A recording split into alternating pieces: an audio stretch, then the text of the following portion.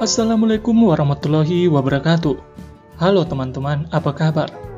Kembali lagi dengan saya Setia dari Point Movie, hadir untuk menceritakan alur film yang berjudul Hachiko.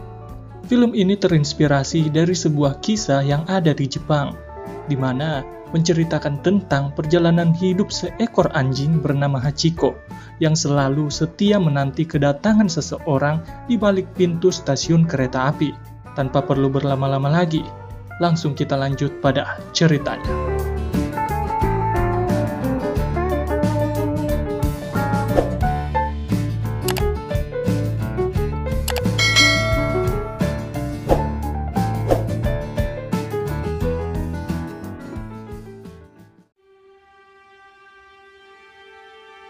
Cerita dimulai pada seorang anak yang tengah mempresentasikan pekerjaan rumahnya tentang siapa sosok pahlawan baginya. Ia menuliskan nama Hachiko, yang merupakan anjing kakeknya dulu. Lalu Shin berganti memperlihatkan seekor anjing kecil yang terkurung di kandang melintasi berbagai perjalanan. Hingga kandangnya terjatuh di suatu stasiun kereta api yang mempertemukannya dengan seorang pria yang dipanggil Profesor. Hey, buddy. Lost? Pria tersebut berusaha mencari pemilik anjing dan hendak menitipkan anjing itu pada petugas stasiun. Namun, petugas stasiun malah menolaknya. Dengan rasa ibah, pria itu pun membawanya pulang ke rumah. Ia berusaha menyembunyikan anjing tersebut pada istrinya, Sayangnya, anjing merupakan hewan yang tidak memiliki pikiran.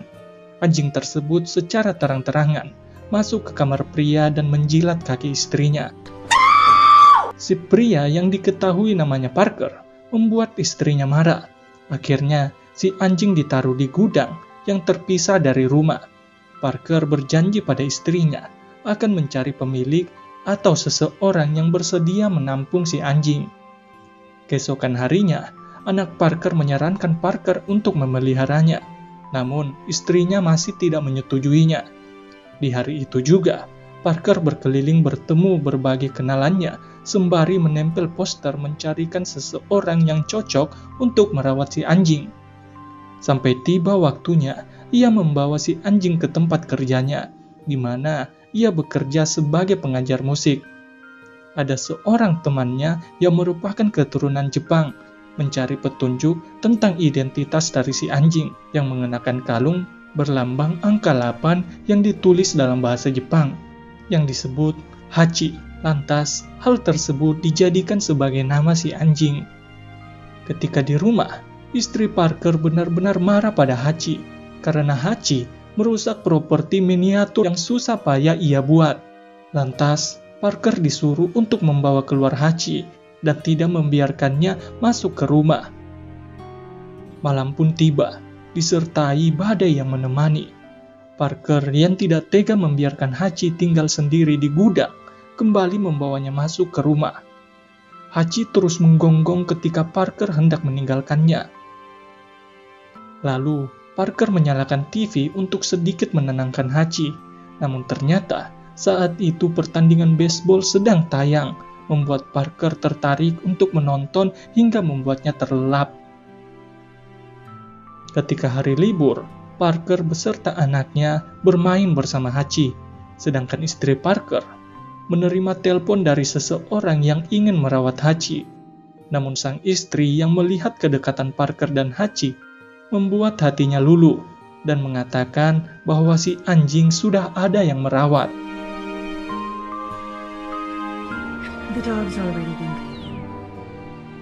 Lalu beberapa tahun kemudian, Hachi telah menjadi anjing besar. Parker yang ada pada hari itu harus masuk kerja meninggalkan Hachi sendirian di halaman rumah. Hachi yang kesepian malah menggali lubang di bawah pagar sebagai tempat lewatnya dan mengejar Parker ke stasiun kereta api. Parker yang sempat melihat Hachi terpaksa harus ketinggalan kereta untuk mengantar pulang Haji dan kembali berangkat pada kereta selanjutnya. Pada sore hari, sekitar pukul 5, Hachi melompat pagar dan pergi menuju stasiun. Ia duduk di taman kecil depan stasiun. Hachi yang sadar bahwa Parker baru saja pulang melewati pintu stasiun langsung menghampirinya.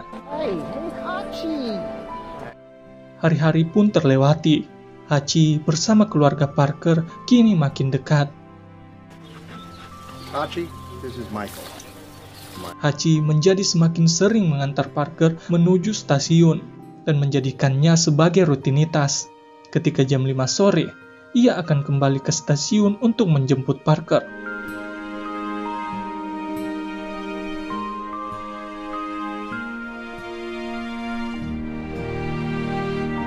Anak Parker juga telah menikah dengan seorang pria yang mencintainya. Dan ketika musim dingin, Parker diberitahukan akan menjadi seorang kakek.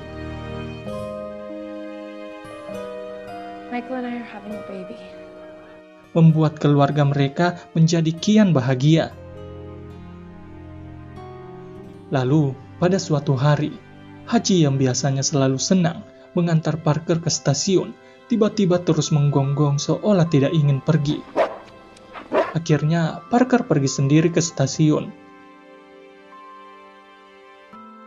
Namun, Haji tiba-tiba menyusul Parker dengan membawa bola yang biasanya enggan ia bawa ataupun ambil. Dan di hari itu juga, untuk pertama kalinya, Parker dan Hachi dapat bermain lempar bola.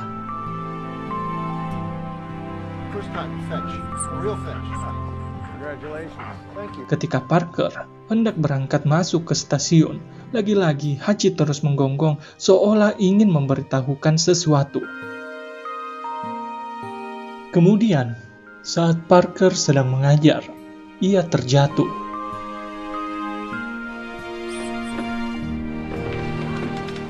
Hachi yang tidak tahu keadaan Parker membuatnya menunggu pada hari itu.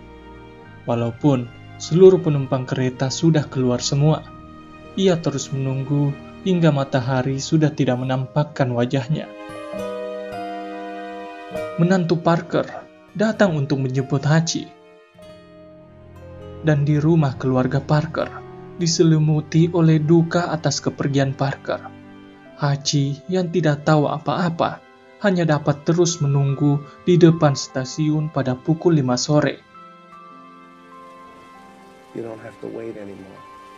Istri Parker yang telah tinggal sendiri kini memutuskan untuk pindah. Haji juga dibawa oleh anaknya untuk dirawat.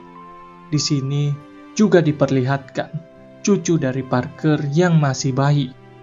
Come on, Hachi. You're gonna be with us now. Let's go. Haji yang berada jauh dari rumah Parker mengambil kesempatan untuk kabur dari rumah. Ternyata ia kembali ke rumah Parker. Namun, karena penghuni baru telah menempati rumah tersebut, membuat Haji pergi dan menunggu kembali di depan stasiun pada sore hari, hingga kembali dijemput oleh anak Parker. Anak Parker yang tahu Haji begitu sedih mengingat mendiang ayahnya, membiarkan Haji untuk pergi. Haji yang bebas pun kembali lagi ke depan stasiun sekitar pukul 5 sore, lalu pergi ketika malam menjelang. Lantas, keseharian Haji yang terus menunggu Parker membuat salah satu wartawan tertarik untuk memuat ceritanya pada sebuah koran. Hari-hari pun terus berlanjut menjadi bulan, dan bulan juga akan terlewati menjadi tahun. Musim-musim yang silih berganti membuat usia Haji kian bertambah.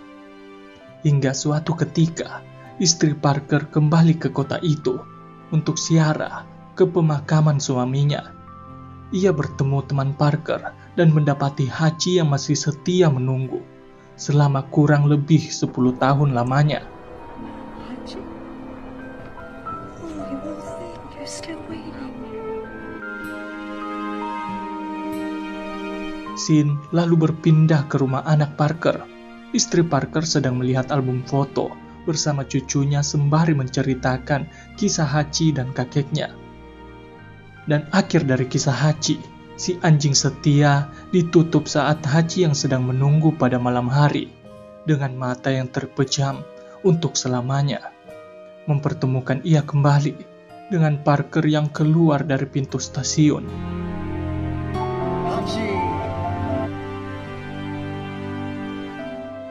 Cerita pun diakhiri dengan cucu Parker yang bercerita di depan teman kelasnya. Menurutnya, Haji adalah pahlawan untuknya. Karena mendengar cerita Haji, seolah ia dapat mengenal sosok kakeknya yang telah tiada, mengajarkan ia tentang kesetiaan dan juga cinta dari kisah yang telah ia dengar.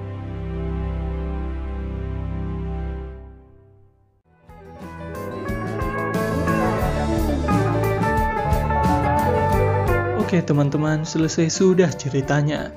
Saya mengucapkan terima kasih buat kalian yang menonton sampai habis. Juga memohon maaf bila ada kekurangan dalam penyebutan kata. Saya setia, pamit.